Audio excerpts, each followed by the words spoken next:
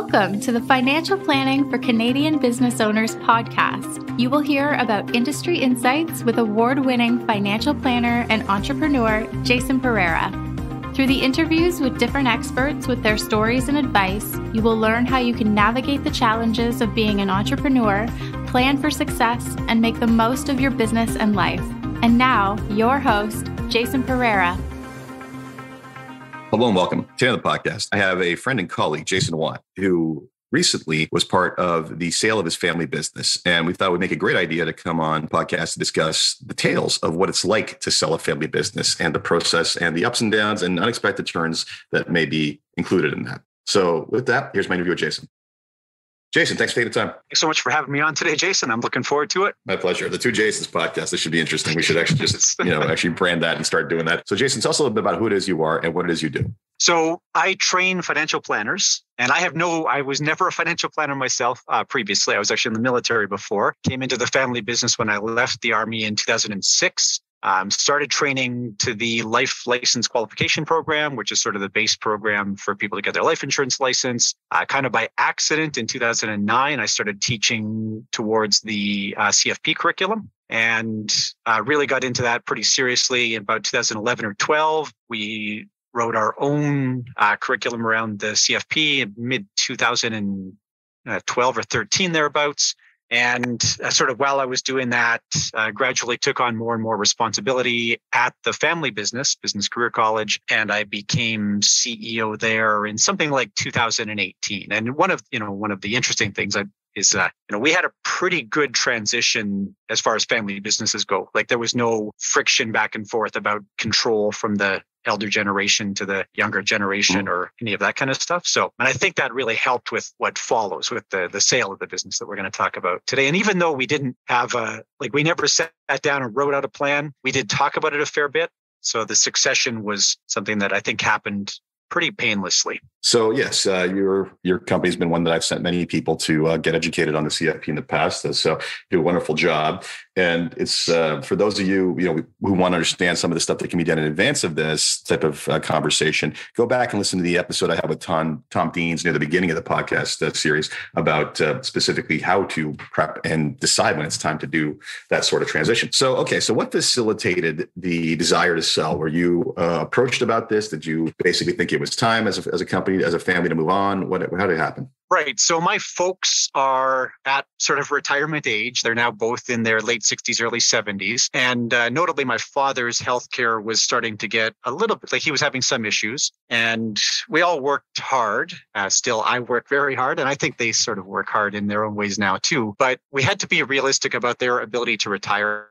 And we'd had some real financial struggles. We, we made some mistakes in the uh, sort of 2006 to 2010 era, um, stuff that honestly should have wiped out the business business, but like a lot of family mm. businesses, we made it work. But it really made it so that there just wasn't enough cash flow, sort of free cash flow in the business to be able to finance their retirement. And I didn't have enough assets to be able to buy them out for an amount that was going to be meaningful for them to retire. So, you know, when it came time to talk about their retirement meaningfully, mm-hmm. we really had to look at a, a third party acquirer. And we hadn't honestly thought about this is a source of acquisition. It's one of these things where about 2015, 16, we started to get our ducks in a row a little bit. We started to fix cash flow. We had good years. We had uh, positive EBITDA. We had just a lot of the the hallmarks and we started talking about it internally about the prospect of sale. And without going out and looking actively for acquirers we had a couple people approach us in about 2016 17 18 we had some a couple us private equity groups. We had our hmm. ultimate acquirer approach us in 2017 the first time around and we couldn't make anything work then. It just our financials weren't strong enough to support an acquisition but it was still it was good sort of foot in the door it made it obvious that that there was a conversation to be had there.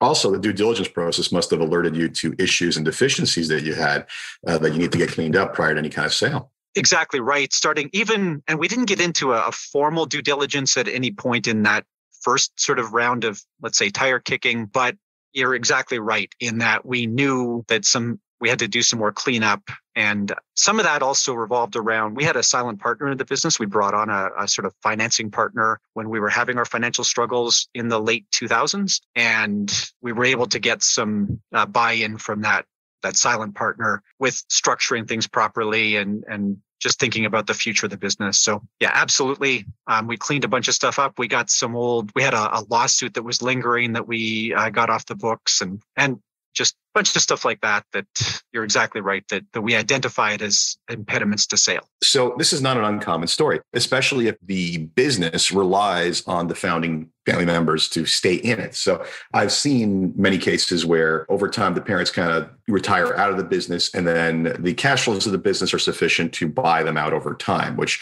which can work. But if the parents are still deeply entrenched within the business operationally or the value relative to cash flow is just not something that's going to work out over a reasonable amount of time, then you do have to consider a third party. So it makes sense that you know that experience is not uncommon. So talk to me about uh, you know you had the initial approach with the private equity firm, but when it came time to actually start selling, did you start marketing your firm? How did uh, how did that work? No, so honestly, what happened here was kind of a surprise. So we did have these PE firms come to us, but we didn't end up ultimately selling to a PE firm. We sold to a local company, actually, just by I don't want to say coincidence, but they had come across us in in their business development. So an e-learning company based in Edmonton. It used to be called Yardstick. At the the original discussion mm-hmm. was with a company called Yardstick, which actually has some was doing some exam work in the financial planning or financial services space. Um, doesn't mm-hmm. anymore. There was uh, some conflicts of interest there. Just in early 2020, so January of 2020, the first workday of 2020, actually, I had a meeting scheduled with the principal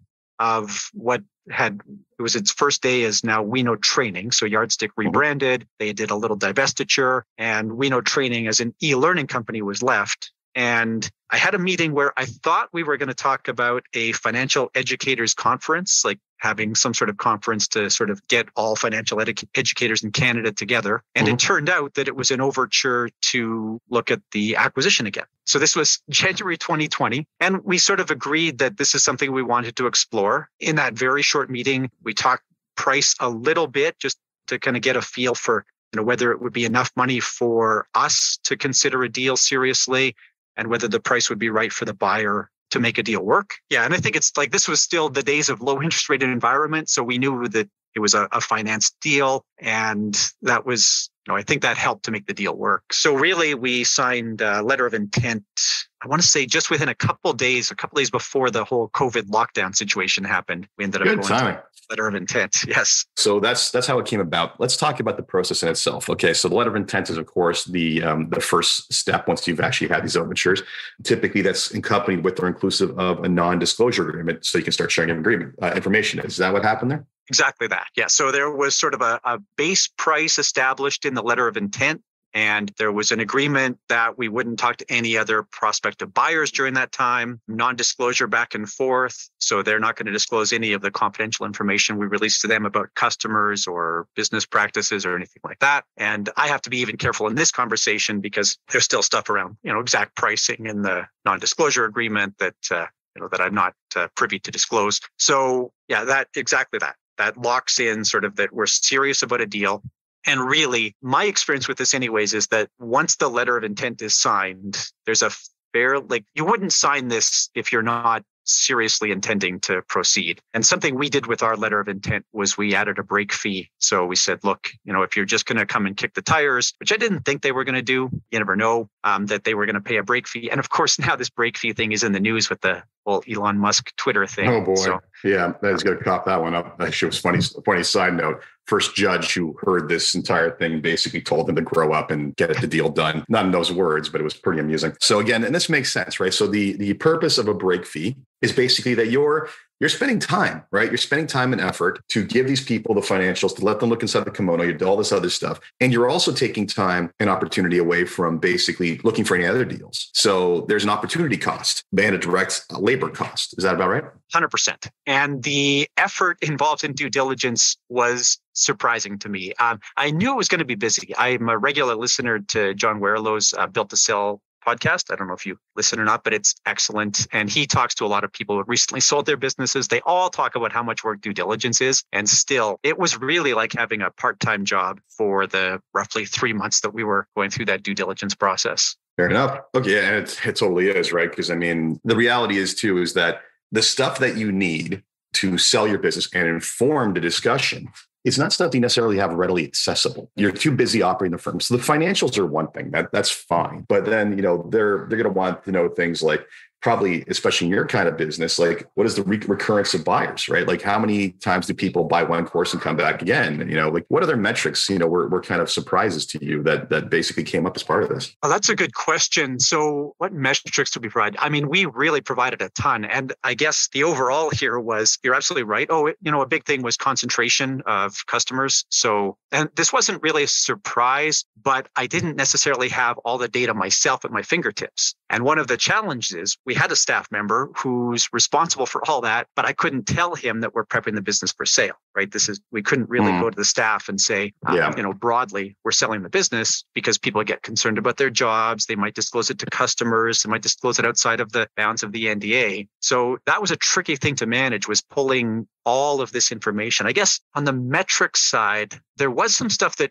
surprised me and something you talked about on your podcast before you know you talked about um, the uh, interview with tom deans but the other one that you have that's really good for this is your series on financial statements. So you know working capital adjustment shareholder loans all of this these were things that i wasn't as prepared to deal with. We were pretty good about sort of operational metrics. It was the shareholder and kind of cap table metrics that were, were harder to get a handle on yeah, and those are actually the ones. I mean, the, the, the shareholder loans; those have to be cleared up before any sale, right? No one wants to take over a business and simultaneously also owe money to the to the shareholder, right? So those have to be dealt with one way or another, and that's usually easy for most business owners to understand. The working capital conversation is one that unfortunately, like I find a lot of business owners have their hard time wrapping their heads around it because they just see it as cash. You know, they see it as inventory, cash, all the stuff that shows up there. But at the end of the day, and as I said in the podcast, in that podcast, it represents an investment in the company, right? Because you know, I, I, had this conversation with a friend of mine who's looking to sell recently, and basically, you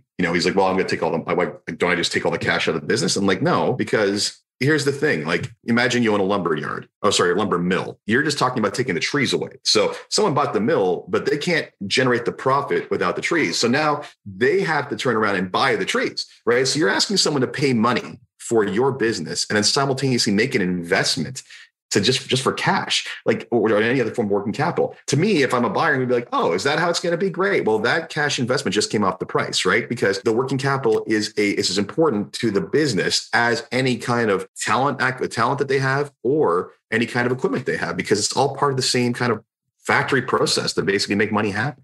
Yeah. And then the other thing that goes along with that is the repayment of the shareholder loans, because, and this was all very transparent, but I just, I didn't understand it before we did the deal this sort of difference between the enterprise value and the price that the buyer pays where we take the shareholder loan accounts all out of the business and that goes towards the sale price for the business. That was mm-hmm. a uh, it's just something i hadn't understood well before we did the deal. And it worked out all good. I don't want to sound like the buyer was in any way disingenuous. They were they were very very generous with us and, and really i think uh, negotiated. There, there was no retrading or anything like that. It was the deal was done very well. It's just understanding these mechanics becomes pretty complicated it can be, and it makes sense, right? Because I mean, if you're paying out the shareholder loan, you're extracting some form of value out of the business, right? So you can't extract value out of the business and then simultaneously ask for that value in the purchase price, right? So there's a book that was written. It was an advisor saw us talking in the U.S. at uh, a previous conference. He actually wrote a book on exit planning called "Your Baby's Not Not Pretty," which is exactly like the first thing we always talk about is I know you think your business is awesome, but if there's an endowment effect here, and if you were you were a third party buyer, you would find all the warts guaranteed, even though you don't see them. So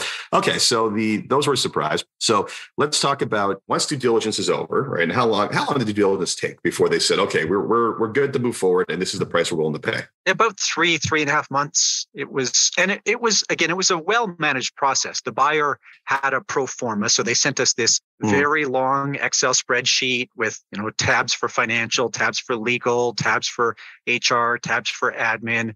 Mm. And it was a matter of uh, you know, they had a SharePoint site set up where we just fed information back in, or I just fed information back into that SharePoint site. And then there was a sort of second round of questions following that, and then a third round of questions following that. We had a lot of meetings in that time, tons of uh, tons of Teams meetings, just because they they're a Teams user. Don't get me started on Teams, but continue. I know, I know. I uh, I just that just press your buttons.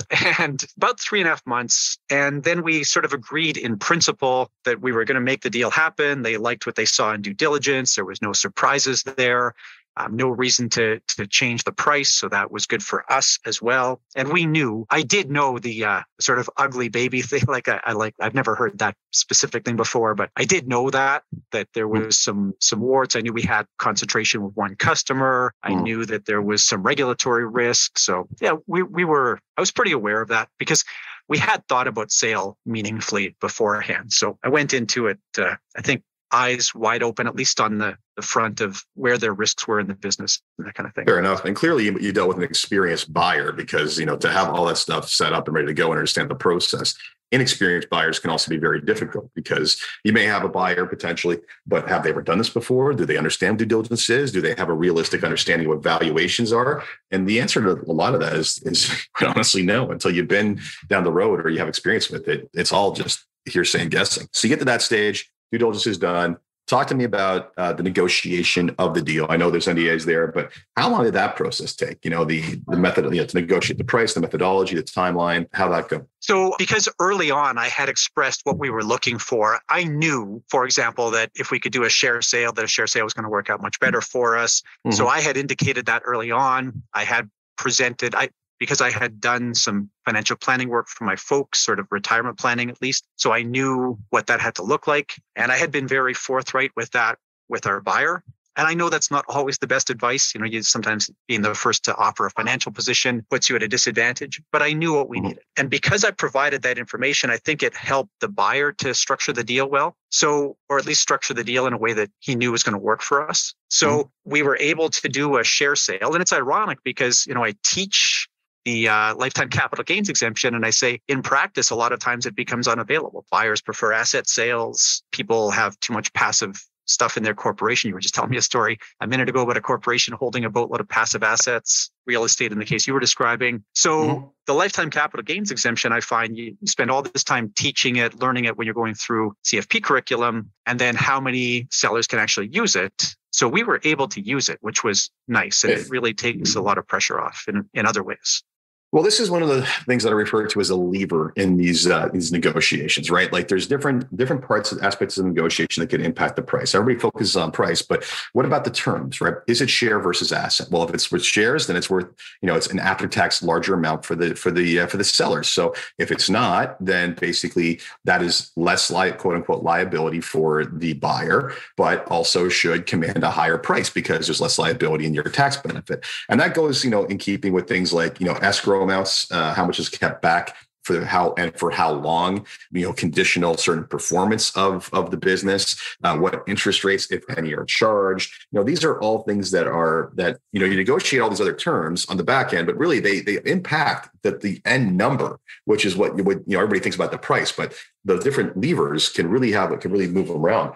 And it's it's interesting the uh the share versus you're right we talk about this all the time and there's some some buyers, I mean, most lawyers will tell you just never buy the shares, right? Because they're looking at from a liability standpoint. My response is always, that's nice. We can indemnify to some degree, right? Depending on the nature of the business, especially yours. Like no one's going to turn around and sue you for failure to deliver three years after taking a course, right? Like that's just, let's get realistic. Whereas some businesses with very long-term contracts, that's a very real concern, right? So it makes sense. Yeah, we don't have a big product liability concern or anything like that. And in fact, yeah. there was a, a, sort of pro buyer reason for the uh, the share sale because there's a bunch of regulatory approvals that go along with business career college. So they were, you know, certain that they were getting all those regulatory approvals with that uh, share sale. Yeah. And we did have I mean, to there, approach our various regulators around that too.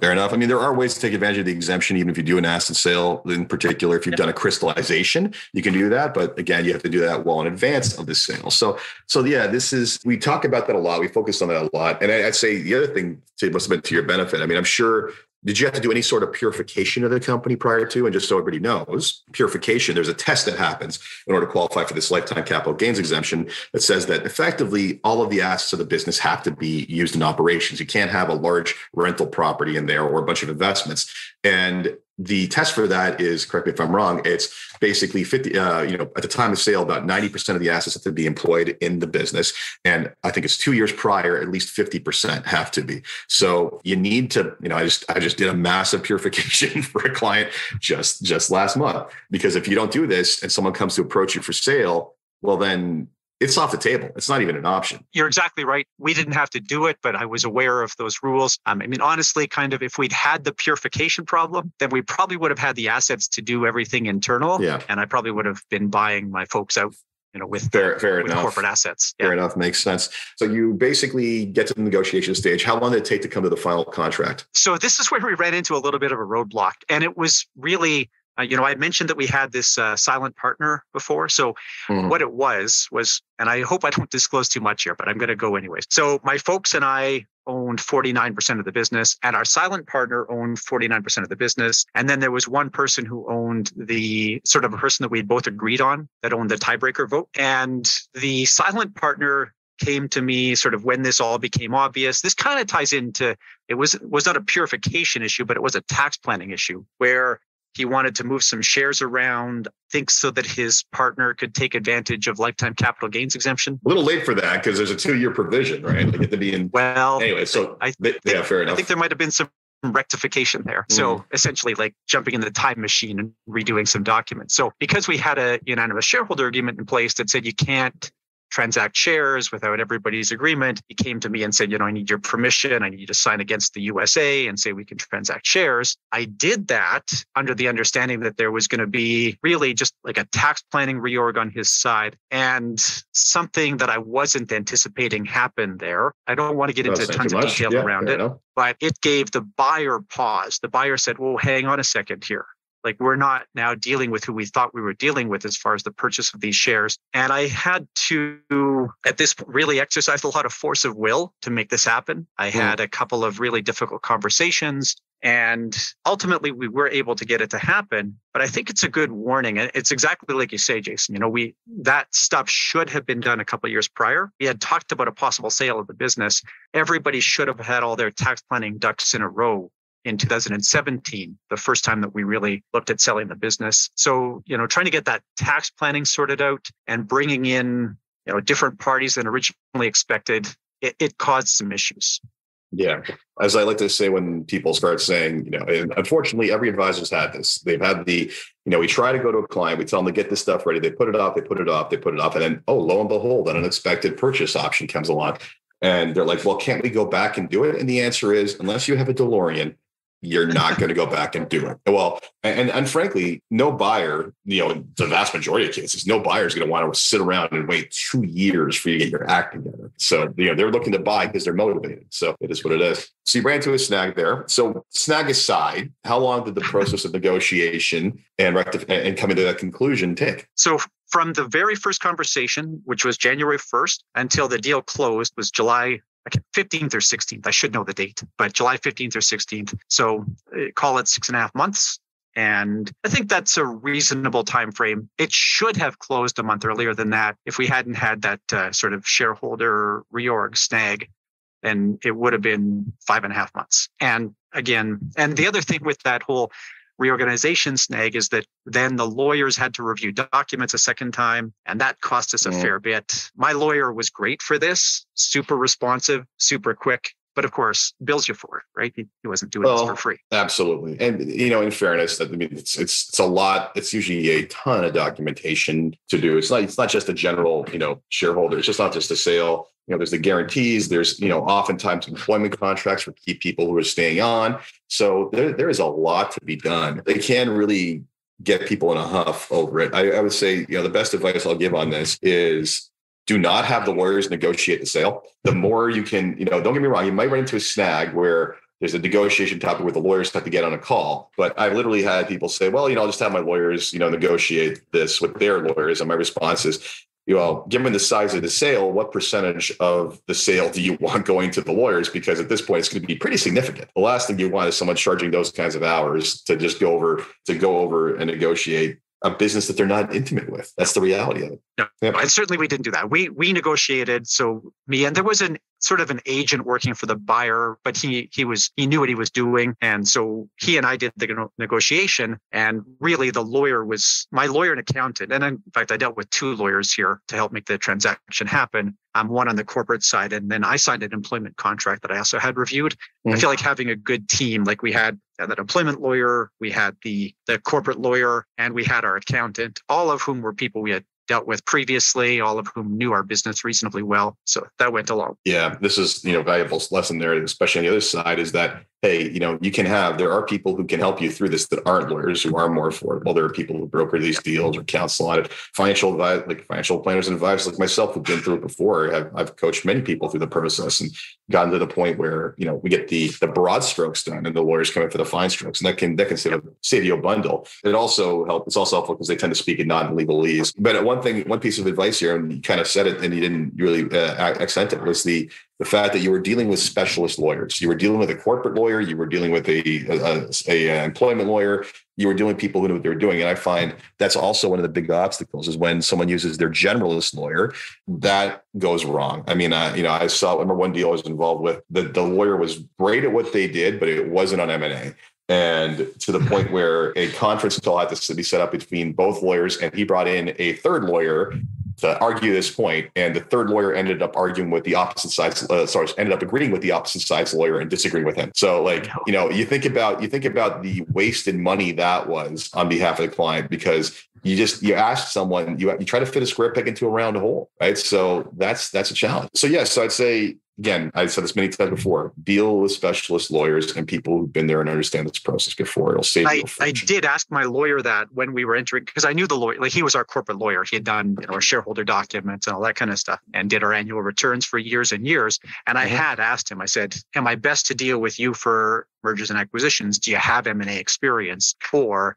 is there somebody else that you should send me to? Like we, we had that conversation point blank. Yep. I didn't assume that that was something he was qualified in. So. It's also, I mean, I will say this much. This is why I do favor dealing with larger law firms. They may be more expensive on a per hour basis, but the reality is, is just having being able to for them for that lawyer to turn to the tax person for an advanced question or the or the labor person and like just being able to have that network right in the house is far more valuable than having one person figure it out themselves. Yeah. Now, in, we were at a boutique firm, but a boutique firm that really only does corporate. And when it came time for the employment law thing, they didn't have somebody in house, but I knew somebody else that I had previously. Yeah, I think, and that was more of a, you know, that's more of a secondary, like separate, like it doesn't, it impacts it, but it's more so like making sure, you know, you've already agreed at that point to work there for how long and for how much. It's just a matter of making sure everything else is in order. So 100%. excellent. Okay, so you know, you get the deal in principle, everything's ready to go. Talk to me about closing. You know, how much, how long did yeah. Take you to sign your life away? so that was actually pretty like once we had everything done. The the closing was pretty good. Money flowed exactly as it was supposed to. There was no delays around getting cash in hand. I think that the financing uh, partner that our buyer used, or the financing team our buyer used, was really good on this front. They made sure that you know money was paid when it was supposed to. My purchase was, uh, you know, I took a small amount of cash and then some equity in the buyer. My folks took 100% cash and that cash, you know, they took some up front and then some paid monthly over it was three or five years now, but some time frame like that. That's all gone exactly as expected. None of the money there was at risk. So it was all based, it was all a set price, which allows us to use lifetime capital gains exemption for the whole thing, of course, no performance amount or anything like that. The only thing was that there was a, a small holdback, what I thought was a fair amount to make sure that we captured legal fees, waited for that final tax return to be filed, make mm-hmm. sure we captured any taxes. And I was actually surprised. I thought that we were never going to see any of that holdback amount. And, uh, and we ended up with, you know, a little bit of cash then too, which was a nice bit of good faith, right? It just felt like getting that yeah. unexpected cash against that holdback amount because I honestly thought it was going to get all eaten up in legal and accounting fees. Yeah, and I will say, you know, like this is also a you know dealing with a good buyer because you know, I've seen deals where that holdback amount, yeah, guess what, uh, it just doesn't get paid. it's like go challenge me on it, right? Unfortunately, right? So again, hopefully that never happens to people, and that's a deal in good faith. So you, you know, deal's done. Talk to me about what surprised you along the way that we haven't covered. So what you know the textbook version of this, but what yeah. about the reality of it kind of was a surprise or new to you? So and I'm very aware of the the personal tax planning issues around this. Like I know I talk about lifetime capital gains exemption and the uh, cumulative net investment loss and alternative minimum tax. I talk about all of these things in class regularly. I understand how these work, and yet I was so busy with the acquisition and I didn't really think about my personal tax planning all that much, except to make sure that I was going to be able to use lifetime capital gains exemption. But when it came time to file my tax return, lo and behold, because I had borrowed some money personally in the early days of the business, So I had a cumulative net investment loss, which I knew. Like I was aware that I had a cumulative net investment mm. loss. And what that cumulative net investment loss does is it reduces your ability to use the lifetime capital gains exemption. So it wasn't a big deal, but I had a little capital gain that I had to pay tax on uh, because of my previous use of investment losses related to borrowing money. It's yep. it's a super complicated issue, and I did end up with again having to wipe out that CNIL balance, that cumulative net investment loss balance before I could use my capital gains exemption. So it's funny because I talk about it in class. I just never thought about it for myself, and there it was. So that and it, that was sort of and it wasn't a huge thing. It was a few thousand dollars, like not anything material to the sale. And then the other one that again caught me a little bit by surprise was alternative minimum tax, which of course is in the news so much now. But because really I had a large capital gain, mostly wiped out by the lifetime capital gains exemption relative to my income in that year, I did end up with some AMT payable. And I had made a big, this is a financial planning one. I had made a big RSP contribution because I had the sale proceeds and I had nothing else to do yeah. with it really. So made a big fat RSP contribution. And my accountant worked with me here where really we pushed most of that RSP contribution into the following tax year yeah. because I had yeah. alternative minimum tax payable. Yeah. So yeah, some complicated tax issues where my accountant was a good help on this. Yeah, and and for those who don't understand this, uh, the lifetime capital gains exemption, which is sitting at what's it at now, like nine hundred thousand, um, nine thirteen, nine thirteen, I think. Yeah, yeah. It, it eventually, it'll hit at the million and stop. But um, the that is not a savings necessarily in the first year because it triggers the alternative minimum tax. So you end up paying some tax on that. But that said, as long as you're earning income going forward at a reasonable level, you actually get that credit back. So it's um, you know usually over two years, roughly, depending on the situation. So you do get it, but you don't get it all up front, and that that often kind of perturbs people. It's like I thought this was tax free. Well, it is mostly eventually, and then eventually, eventually yeah. we will yeah. basically do it. And that's you know at least there's some tax planning later on to realize you know for example realizing investment gain returns or generating investment gain returns in order to utilize that uh, that AMT amount which you know can be tricky. And yes, they are very much talking about making AMT worse. Let's not go there. Not pleased about that. So yeah, it's you know as as always the there's a difference between the theory and the practice, right? You know, I always think back to I think it was I remember which book it was. It may have been it may have been uh, when Genius failed, where when the one of the traders turned to the academic and said, "Yeah, you guys think you know a lot about trading this stuff, but you really have no idea how it works, right? and it's, you know, in theory, it works a certain way. In execution, well, you know, the, you, have to, you have to factor in a lot more that happens because we typically just summarize the, the, top line without the difficulties. So excellent. So thanks for sharing your journey, Jason. Anything else you want to share about what this was like? I think that the other thing that I didn't mention here was, and you talked about it, finding a good buyer, but the due diligence process is a two-way street that mm-hmm. as much as you should be you know going through and providing a lot of information about your business you should be learning about the business that's acquiring you. And i think it's good to